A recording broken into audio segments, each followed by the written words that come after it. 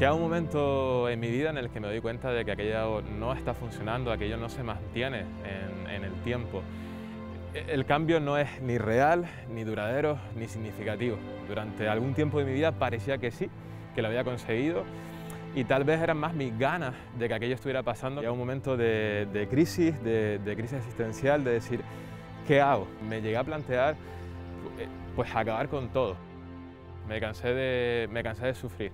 Entendí que mi vida tenía sentido, que mi vida tenía valor y que tenía que buscar otra dirección, porque aquel camino no me estaba haciendo feliz y además no, tenía, no era verdad, no era verdadero, no era auténtico. Me toca empezar de cero, porque en realidad toda mi adolescencia y mi primera juventud había estado sumergido en estas terapias y con este tipo de, de grupos.